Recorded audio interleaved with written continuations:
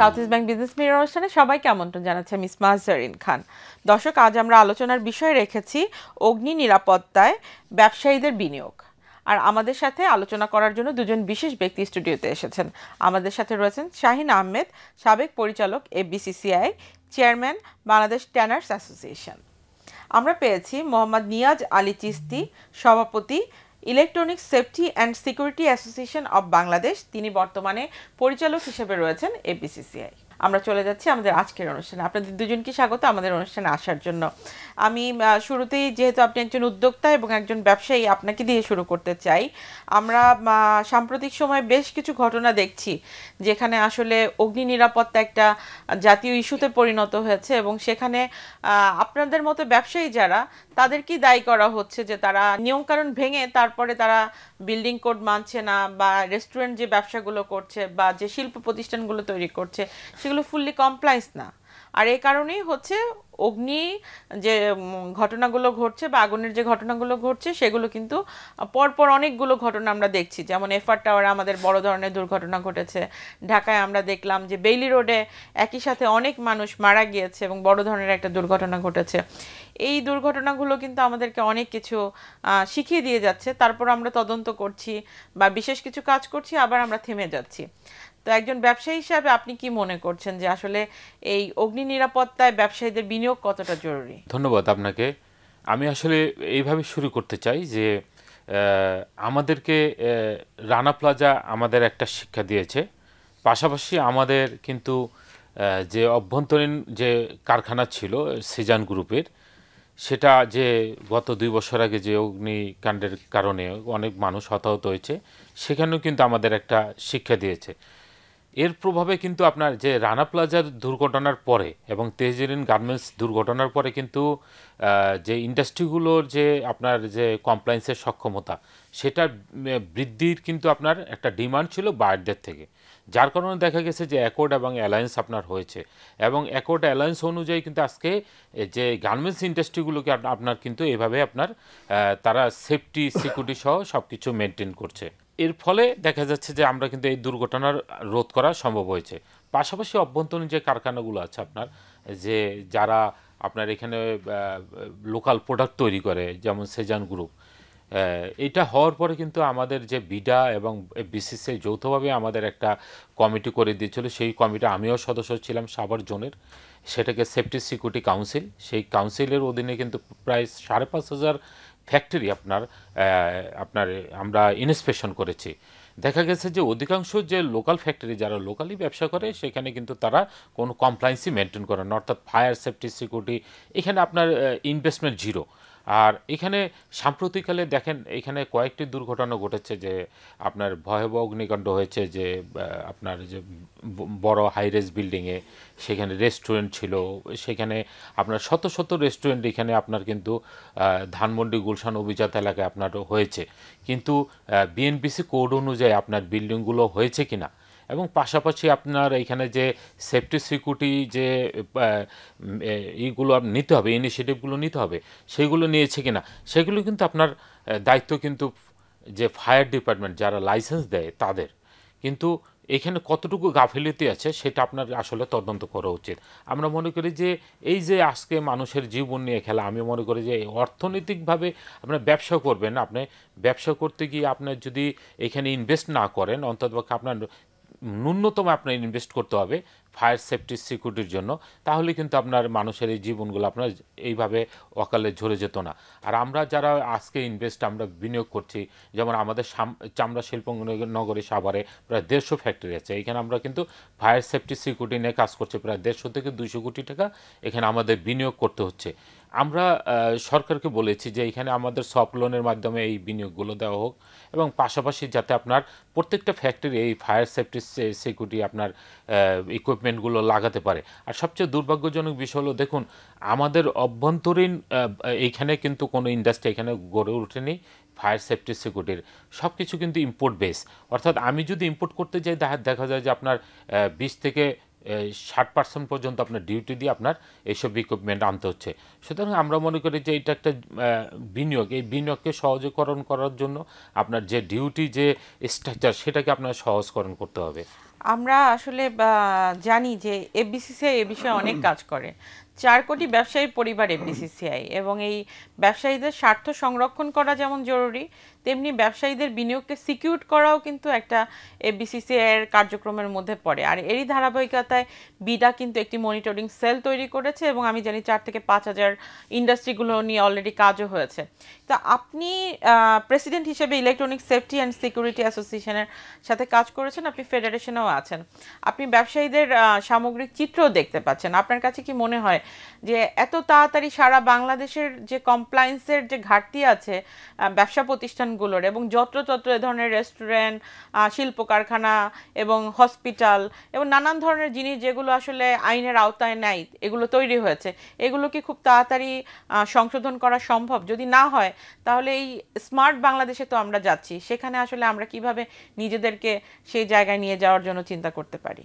সত্যিকার অর্থে যে আমাদের অ্যাওয়ারনেসটা এত কম ফায়ার সেফটি সিকিউরিটির বিষয়ে, আমরা একটা ইনভেস্টর যখন এন্টারপ্রেনার যখন ইনভেস্ট করে সে মনে করে যে ফায়ার সেফটি সিকিউরিটির উপরে যে ইনভেস্টমেন্টটা করবে, সেটা মনে করছে, এটা ব্যাড ইনভেস্টমেন্ট মনে করে স্টিল নাও আপনার উন্নত বিশ্বে আপনার টোটাল প্রজেক্ট যেই, আপনার প্রজেক্টের যে ভ্যালু সেই ভ্যালুর টু টু থ্রি পার্সেন্ট এরা ইনভেস্ট করল সেফটি সিকিউরিটির উপরে। সেখানে আপনি একশো কোটি টাকা একটা বিল্ডিং করবেন, অথচ আপনার এক কোটি টাকা খরচ করবেন না, সেটা কিন্তু হতে পারে না। আমাদের ফায়ার সেফটি প্রোডাক্টটা শুধুমাত্র কিন্তু সম্পদ রক্ষা করে না, এটা কিন্তু জীবনও রক্ষা করে। আজকে যেটা আপনি কিছুদিন পূর্বে আমরা এফআর টাওয়ার অগ্নিকাণ্ড দেখলাম। তারপর আপনার খাজা টাওয়ার যেটা আপনি বনানীতে অগ্নিকাণ্ড দেখলাম। এই- রিসেন্টলি যেটা হলো আপনার বেলি রোডে যে অগ্নিকাণ্ডগুলো দেখেন, এখানে যা হয়েছে, কতগুলো প্রাণ গেছে এখানে।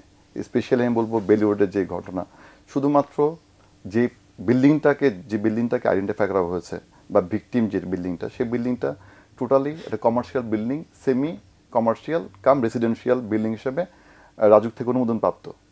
তো কমার্শিয়াল বিল্ডিং হিসাবে আমরা ট্রিট করি কোনটাকে? যেটা অফিস থাকবে। আর হয়তো বা দোকান থাকতে পারে। কিন্তু ওটার মধ্যে ছিল ছয়তলা বিশিষ্ট বিল্ডিংয়ে একটা ফ্লোর ছাড়া বাকি ফ্লোরও ছিল আপনার রেস্টুরেন্ট প্রত্যেকটা রেস্টুরেন্টে ছিল কিচেন এবং কিচেনগুলোতে সারিবদ্ধ ছিল আপনার আট থেকে নয় লিটার সিলিন্ডার এলপিজি সিলিন্ডার যেগুলো একটা অ্যাটম বোম হিসেবে কাজ করেছে কিন্তু। আগুনটা যে লেগেছে, আপনার নিচে লেগেছে। লাগার পরে সামনের যে জায়গাটা ছিল আপনার রাস্তাটা রাস্তাটা আপনার সরু ছিল এবং মানুষ বের হতে পারেনি বিকজ অফ আগুন সামনে। সবাই চেষ্টা করেছে দৌড়িয়ে ছাদে ওঠার জন্য। কিন্তু আনফর্চুনেটলি যে ছাদে ওঠার যে আপনার রাস্তাটা, আপনার সিঁড়িটা, সেটাও ছিল খুবই সরু এবং সংকীর্ণ। এবং ওগুলোর মধ্যে আপনি এলপিজি সিলিন্ডার বুঝাই করেছিল। যারা কোনো মতে করে আপনার ছাদে উঠতে পেরেছে, তারাই কিন্তু রক্ষা পেয়েছে। আমি ফিজিক্যালি গিয়েছি ওখানে, আমি আমাদের ইসার টিম সহ গিয়েছিলাম ওখানে। দোতলার মধ্যে, একটা রুমের মধ্যে চল্লিশটা মৃত্যু দেহ- ওখানে পেয়েছে। সবাই আপনার সাপোকেটেড হয়ে মারা গেছে। তো ওখানে নেই কোনো ফায়ার এক্সিট ডোর নেই কোনো ইমার্জেন্সি স্টেয়ার কিছুই নেই। কিন্তু কথা হলো গিয়ে যে আমাদের নাকের ডোকার সামনে যে রেগুলেটরি বোর্ড তারা কী করছে? যে বোর্ডটা আপনি তাদেরকে অনুমোদন দিল কমার্শিয়াল বিল্ডিং হিসেবে, সেটা আদতে কি কমার্শিয়াল বিল্ডিং নাকি এটাকে রেস্টুরেন্ট করে ইন্ডাস্ট্রি করে ফেলছে, সেটা দায়িত্ব কার? সেটা তো তো আপনার রেগুলেটরি একটা বোর্ড থাকা উচিত। আমি একটু জানতে চাই যে যেই কমিটিটা করা হয়েছিল সেটি আসলে শিল্পকে কেন্দ্র করে করা হয়েছিল। কিন্তু এখন ঢাকা এবং আশেপাশের জোন কেন্দ্রিক যে আসলে কার্যক্রমগুলো আছে সেগুলো কিন্তু অনেক বেশি ঝুঁকির মধ্যে আপনি আছে। এফবিসিসি এর সমন্বয় বিডা এবং। সমন্বয়ে যে টিমটা করা হয়েছিল তারা আমরা ইতিমধ্যে দশ হাজার ফ্যাক্টরি ছোট মাঝারি ফ্যাক্টরি ভিজিট করেছি। এবং এটা প্রতিবেদন অলরেডি আপনার বিডার মাধ্যমে আপনার সংশ্লিষ্ট কর্তৃপক্ষের কাছে জমা হয়েছে। এখন আমাদের যে প্রোগ্রাম সেটা আপনি যে ফ্যাক্টরিগুলো ভিজিট করেছেন এই ফ্যাক্টরিগুলোর আবার কিন্তু হেড অফিস থাকে। আর এই হেড অফিসগুলো কিন্তু ঢাকা কেন্দ্রিক গুলশান বনানী এই ধরনের বেলি রোড বলেন বা বাংলা মোটর বলেন বা ধানমন্ডি বলেন এই সকল কেন্দ্রগুলোকে কেন্দ্র করেই কিন্তু নেয়া। আবার সাথে সাথে এই বিল্ডিংয়েই আবার কিন্তু রেস্টুরেন্টগুলো তৈরি হচ্ছে।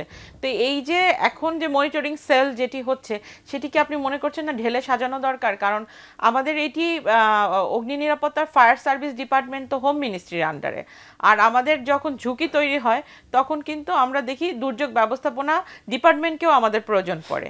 আপনি বলছিলেন অনেক কিছু সিদ্ধান্ত নিতে হয় তখন কিন্তু অন্যান্য ডিপার্টমেন্টগুলো যেমন রাজুকের নকশা দেখতে হয় রাজুককেও আমাদের প্রয়োজন পড়ে। এই কারণে বিসিসিআইকে নিয়ে কি সকলকে নিয়ে একটা নতুন করে এই কমিটি তৈরি করা দরকার যারা অ্যাওয়ারনেস করবে যারা মনিটরিং করবে এবং পলিসি মেকিং এ গভর্নমেন্টকে সহযোগিতা আমাদের করবে। থেকে যে ইনভেস্টিগেশন টিম আপনি বিডার নেতৃত্বে হয়েছে, সেটা কিন্তু দুইটা পর্যায়ে আপনি বিভক্ত করা হয়েছে। একটা হচ্ছে ছোট মাঝারি যে ফ্যাক্টরিগুলো রয়েছে, সেগুলো সেগুলো ইতিমধ্যে শেষ হয়েছে। দশ হাজার ফ্যাক্টরি ইতিমধ্যেই কিন্তু ইনভেস্টিগেশন করে ফেলা হয়েছে। এখন আমাদের পরবর্তী যে ধাপ, সেটা হচ্ছে হলো গিয়া হাইরাইজ বিল্ডিং এবং আপনার বিভিন্ন মার্কেট শপিং সেন্টার ইতিমধ্যে এটা কাজও শুরু হয়েছে। তো এই, এইগুলো করার পরে হয়তো আমরা একটা রিপোর্ট জমা দেওয়ার কথা। তো আমার মনে হয় এখন সেটা কিন্তু অনেক দূরের বিষয় এবং সময় সাপেক্ষ বিষয়। আমার মনে হয় যে ঢাকা শহরে স্পেশালি ঢাকা শহরে, যত আপনার মফস্বলে কিন্তু ওইভাবে অগ্নিকাণ্ড ঘটে না? কারণ তারা অনেক বড় আকারে জায়গা তারা পায়, তারপরে এত হাইরাইজ বিল্ডিংও নেই। কিন্তু ঢাকা শহরে যেভাবে আপনার স্পেশালি আপনার রেস্টুরেন্টগুলো গড়ে উঠছে, তারপরে হচ্ছে হলো গিয়ে আপনার এই কমার্শিয়াল বিল্ডিং নামে বা রেসিডেন্সিয়াল বিল্ডিং এর মধ্যে কিন্তু কমার্শিয়াল কাজগুলো করছে, এগুলোকে আইডেন্টিফাই করতে হবে। এবং ওখানে যদি এক্সট্রা হ্যাজার্ড না হয়, সেই দিকে লক্ষ্য রাখতে হবে। অনুমোদন যদি থাকে তাহলে অনুমোদন নেই তারা, সমস্যা নেই। কিন্তু আপনারা আপনাকে প্রপার সলিউশন করে ফায়ার সেফটি মেজারটা কনফার্ম করে তারপর যেন তাদেরকে অনুমোদন দেওয়া হয়। এমন না যেন আমরা বলতেছি আপনি সবগুলো বন্ধ করে দেওয়ার জন্য। যে বিল্ডিংগুলো আছে, আপনি কমার্শিয়াল সেমি কমার্শিয়াল অথবা আপনি রেসিডেন্সিয়াল ওখানে ফিজিক্যালি ভিজিট করে ওখানকার ডিমান্ড অনুযায়ী ওই অ্যাকশন নেওয়া। এবং তাদেরকে সময়, পনেরো দিন বা এক মাস সময় দিয়ে যে এই সময়ের মধ্যে যদি আপনি করতে না পারেন, তাহলে আপনার বিল্ডিংটা সিল গালা করা হবে বা একটা নোটিশ মাধ্যমে জবাব দিতে মধ্যে যেন নিয়ে আসে। এভাবে কাজগুলো করতে হবে। কারণ আপনার যারা ইনভেস্টর বা যারা ব্যবসায়ী, তারা কিন্তু খুঁজে, আমরা জানেন যে আমরা এন্টারপ্রেনার আমরা অল্পতেই যদি একটা রেস্টুরেন্ট দিতে পারি, তাহলে হয়তো এখান থেকে আপনি আরও কিছু ব্যবসায়ী থেকে শুরু করে আপনি যারা এখানে কাজ করছে তাদের কিন্তু জীবন, জীবিকা অর্জন করছে এখানে। আমরা একটা বিরতিতে চাই, বিরতির পর আবারও ফিরছি। দর্শক, আমরা একটা বিরতিতে যাচ্ছি, বিরতির পর আবারও ফিরছি South East Bank Business Mirror অনুষ্ঠানে। সাউথ ইস্ট ব্যাংক বিজনেস অনুষ্ঠানে আবারও আমন্ত্রণ জানাচ্ছি সবাইকে। জি, বিরতির আগে আপনি বলছিলেন, আমি একটু জানতে চাই যে যারা ব্যবসা পরিচালনা করছে, বাংলাদেশে তারা তো অনেকেই স্টার্ট আপ ব্যবসা বা অনেকেই কেবলমাত্র পড়াশোনা করে তারা হয়তো দেখা যাচ্ছে কোনো একটা বিল্ডিং ভাড়া নিয়ে তারা রেস্টুরেন্ট বিজনেসে নেমে গেছে। কিন্তু ব্যবসায়ীদেরকেও তো সচেতনতা করা আমাদের দায়িত্বের মধ্যে পড়ে। এখন অনেক সময় দেখা যায় যে এই বিষয়গুলো যখন ঘটনা ঘটে, পরবর্তীতে ব্যবসায়ীদের আবার হ্যারাসমেন্টের একটা শিকার হতে হয় এবং পরবর্তীতে যারা ব্যবসা করছে, তাদের ব্যবসা পরিচালনাও সমস্যার মধ্যে পড়ে যায়। তো আমরা যদি আসলে ব্যবসায়ীদেরকে হ্যারাসমেন্টে না ফেলিয়ে তাদেরকে সাথে রেখি, তাদের সচেতনতা তৈরি করে কীভাবে তার যে ব্যবসা প্রতিষ্ঠান আছে, সেখানে সে আরও কীভাবে কমপ্লায়েন্স করতে পারে এবং সরকার যদি তাদেরকে আরও প্রণোদনা দেয় যে, এই জায়গাগুলো যদি তুমি কমপ্লায়েন্স করো, তাহলে তুমি কর রেয়াত পাবা। বা এই জায়গায় কমপ্লায়েন্স করলে সরকার তাদেরকে আরও সুবিধা দিবে। এই জায়গাগুলো নিয়ে কি আপনারা চিন্তা করেছেন যে সরকারকে কোনো নির্দেশনা দেওয়ার জন্য যারা কাজ করছে তাদের সাথে আলোচনা করার বিষয়ে? দেখুন, আসলে আপনি যথার্থ বলেছেন যে এইখানে যেহেতু আপনার ফায়ার সেফটি এবং সিকিউরিটিটা আসলে আন্ডার অফ আপনার হোম মিনিস্ট্রি আমি মনে করি যে তাদের কর্মপরিধি অনেক বড়। এইখানে আমার মনে হয় যে দুর্যোগ ও ত্রাণ মন্ত্রণালয়কে ইনভলভমেন্ট করা উচিত এবং পাশাপাশি আমার, আমরা যারা স্টার্ট আপ বিজনেস শুরু করেছি আপনার যে, যেহেতু অনেকেই আপনার পড়ালেখা শেষ করে আপনার ছোট ছোট রেস্টুরেন্ট দিয়ে আপনার ব্যবসা পরিচালনা করছে। ইভেন আপনি দেখবেন যে ঢাকার শহরের রাস্তার পাশেও আপনার কিন্তু অনেক শিক্ষিত ছেলে আপনার, ছোট ছোট রেস্টুরেন্ট দিয়ে আপনার ভাসমান রেস্টুরেন্ট দিয়ে ব্যবসা করছে। এই যে আপনার যে সেফটি এবং সিকিউরিটির ব্যাপারে কিন্তু তারাও অসচেতন। এইখানে আমরা যারা হাই রেস বিল্ডিং আমরা রেস্টুরেন্ট দিচ্ছি, আপনার এখানে ব্যবসা পরিচালনা করছে, এখানে সিলিন্ডারটা আমাদের হয়তো বা আপনার গ্রাউন্ড ফ্লোরে রাখতে হয়। না হলে আপনার যেখান দিয়ে ইমার্জেন্সি এক্সিট সেখানে রাখতে হয়। আপনার এইগুলো আসলে কোনোভাবে কাম্য নয়। এই- এই বিষয়গুলো নিয়ে আসলে আমার মনে হয় যে রাজুক এবং আপনার যে সংশ্লিষ্ট মন্ত্রণালয় আছে, স্বরাষ্ট্র মন্ত্রণালয়, দুর্যোগ ত্রাণ মন্ত্রণালয় এবং আমাদের ফেডারেশন যেটা আমাদের অ্যাপেক্স বডি এইটি নিয়ে আমাদের আরও সভা সেমিনার করা উচিত। এবং এই যে যারা নতুন নতুন ব্যবসায়ী তাদেরকে ইনভলভমেন্ট করে আপনার এইখানে তাদের ভিতরে সচেতনতা সৃষ্টি করা এবং আপনার এই যে যে কমপ্লায়েন্সের ক্ষেত্রে যে প্রণোদনা আমি মনে করি যে যেহেতু আমরা আজকে মিডল ইনকাম কান্ট্রিতে চলে যাচ্ছি আপনার দুই ছাব্বিশ সালের পরে এখানে কিন্তু আপনার অনেক প্রণোদনা আপনার উঠে যাবে।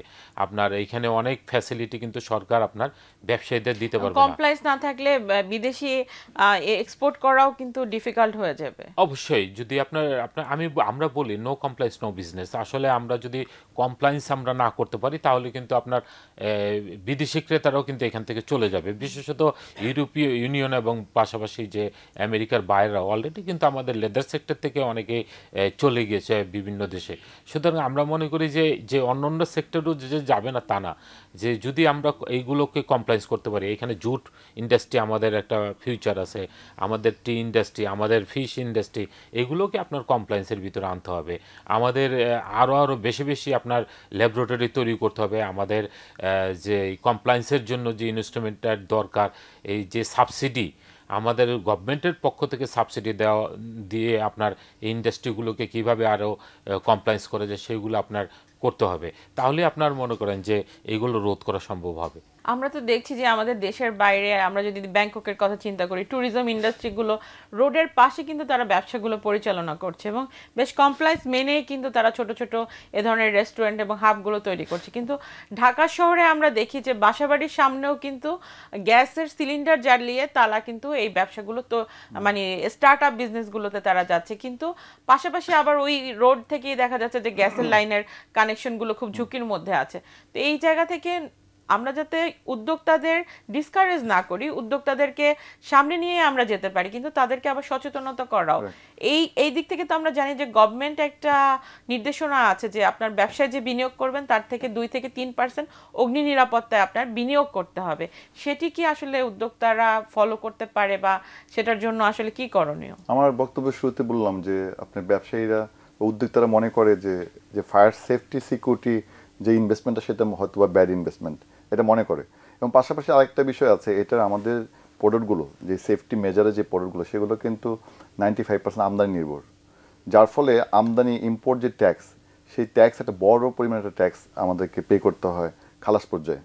এখান থেকে যদি গভর্নমেন্ট চিন্তা করে যে এইটা, যেহেতু এটা শুধুমাত্র জীবন রক্ষা করে না, সম্পদ রক্ষা করে এত এইটাকে আপনার প্রায়োরিটি বেসে আপনার একেবারে জিরো ট্যাক্স দিয়ে আপনি অন্যান্য যে এআইটি বা আইডিএসসি এগুলো নেই কিন্তু আপনার ট্যাক্স এত পরিমাণ ট্যাক্স এটা না নিয়ে যদি আপনি ফ্রি করে দেওয়া হয় টিল নাও আপনার এখানে যেহেতু আপনার এখানে আপনার ইনভেস্টর নাই বা এখানে আপনার তৈরি হচ্ছে না, উৎপাদন হচ্ছে না, অতএব আমদানিকৃত পণ্যের উপর যেন আপনার একটা সুবিধা দেওয়া হয় এবং যেন ট্যাক্স না নেওয়া হয় তার থেকে হবে কি? আপনার সহজলভ্য হয়ে যাবে জিনিসগুলো এবং তারা কিনতে কিন্তু আগ্রহ বোধ করবে। এখন একটা এক্সটিংগুশের দাম, ভালো মানে একটা এক্সটিংগুশের দাম প্রায় আড়াই থেকে তিন হাজার টাকা। যদি ভালো মানের হয়। এবং আরেকটা বিষয় হচ্ছিল গিয়ে খুবই ইম্পর্টেন্ট সেটা হচ্ছিল গিয়ে আপনার কোয়ালিটি আমাদের অনেক ব্যবসায়ী রয়েছেন যারা কিনা আপনার এবং ক্রেতা রয়েছেন। ক্রেতা চায় হলো গিয়ে সবচেয়ে কম মূল্যের প্রোডাক্ট এবং সেটা ফায়ার সেফটি সিকিউরিটি প্রোডাক্টের বিষয়। এখন কম মূল্যে প্রোডাক্ট কেনার জন্য তারা উৎসাহিত হয়। যারা ইম্পোর্ট করে, তারা চিন্তা করে যদি আমি বেশি দামি প্রোডাক্ট আনি, ভালো প্রোডাক্ট আনি, তাহলে আমি হয়তো সেল করতে পারব না। তখন সে কিন্তু নিম্নমানের কম দামে প্রোডাক্ট আনতেছে। এভাবে কিন্তু আমাদের দেশে আপনার আপনি কম মূল্যে প্রোডাক্ট ঢুকছে এবং এগুলোকে আপনি খুবই মানহীন।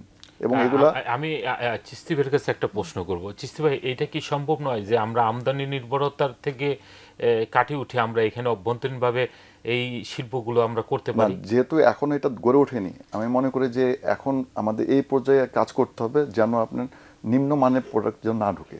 এই যে যেটা শুনলাম আমরা বিষয়টি আছে যে আমাদের যারা এই ইলেকট্রনিক সেফটি সিকিউরিটি ডিপার্টমেন্ট নিয়ে যারা কাজ করছে বা যারা এই ধরনের পণ্য আনছে তারা বলছে যে হান্ড্রেড পার্সেন্ট এলসি ছাড়া তারা কাজ করতে পারছে না। তো সেই জায়গায় আসলে ব্যাংক থেকে কি কোনো ধরনের সহযোগিতা পেলে বা ইম্পোর্ট চার্জ কমিয়ে দিয়ে আরও কীভাবে তাদেরকে সহযোগিতা করা বা এই কাঁচামালগুলো দেশে এনে দেশেই এই ধরনের উদ্যোক্তা তৈরি করা যাতে আমাদের দেশীয় চাহিদা পূরণ করতে পারে। সরকার যদি চায় তাহলে সেটি সম্ভব জি টু জি প্রজেক্টের মাধ্যমে। যেহেতু এটা এখনও এসেনশিয়াল প্রোডাক্ট হিসেবে ট্রিট করছে না। এটা নর্মাল প্রোডাক্ট হিসেবে ট্রিট করছে যার ফলে কিন্তু ব্যাংকগুলোতে এলসি নিচ্ছে না এবং নিলেও হান্ড্রেড পার্সেন্ট মার্জিন দিয়ে কিন্তু এলসি করতে হচ্ছে। পাশাপাশি খালাস পর্যায়েও কিন্তু আপনি বিভিন্ন বিড়ম্বনায় আমাদের সম্মুখীন হতে হয়। আপনি এক্সপ্লোসিভ সার্টিফিকেট নিতে হয় এবং বিএসটি সার্টিফিকেট নিতে হয়। বিএসটি এর সক্ষমতা নিয়ে কিন্তু প্রশ্ন আছে এবং তাদের সক্ষমতা বৃদ্ধি করতে হবে।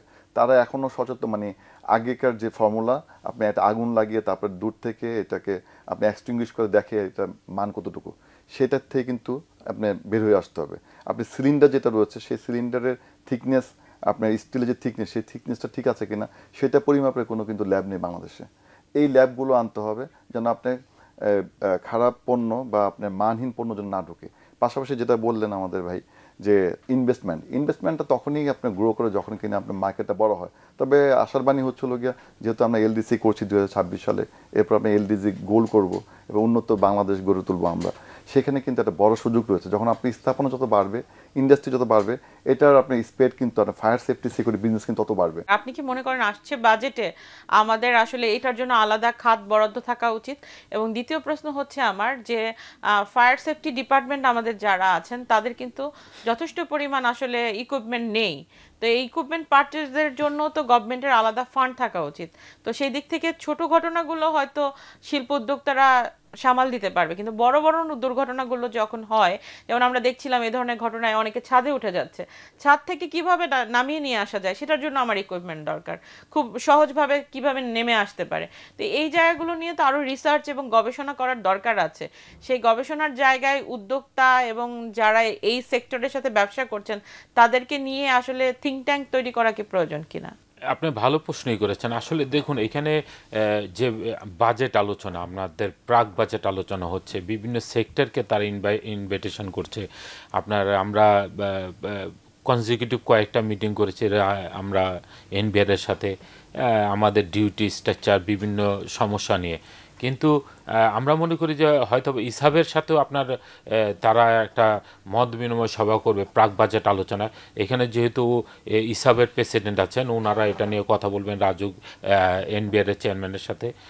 যে কীভাবে আপনার এই, এইটার জন্য আপনার ডিউটি স্ট্রাকচারটা ঠিক করা যায় এবং সবচেয়ে কম মানে মূল্যে এটা ইম্পোর্ট করা যায়। এবং ইন্ডাস্ট্রি যাতে আপনার সরাসরি ইম্পোর্ট করতে পারে উইদাউট ডিউটি ফ্রিতে সেটার ব্যবস্থা আপনার আমার মনে হয় যে রাখা উচিত বলে মনে করি। সুনির্দিষ্ট নীতিমালা তৈরি হোক যার মাধ্যমে বাংলাদেশের মানুষ সচেতন হবে বাংলাদেশের মানুষের জীবন বাঁচবে এবং অগ্নি নিরাপত্তায় ব্যবসায়ীরা কমপ্লায়েন্স করে আরও বেশি বিনিয়োগ বাড়াবে। আপনাদের দুজনকে অসংখ্য ধন্যবাদ। আমাদের অনুষ্ঠানে অংশগ্রহণ করার জন্য। ধন্যবাদ। ধন্যবাদ আপনাকে। দর্শক এই ছিল South East Bank Business Mirror অনুষ্ঠান। দেখা হবে আগামী সপ্তাহে। সেই পর্যন্ত সবাই ভালো থাকুন সুস্থ থাকুন।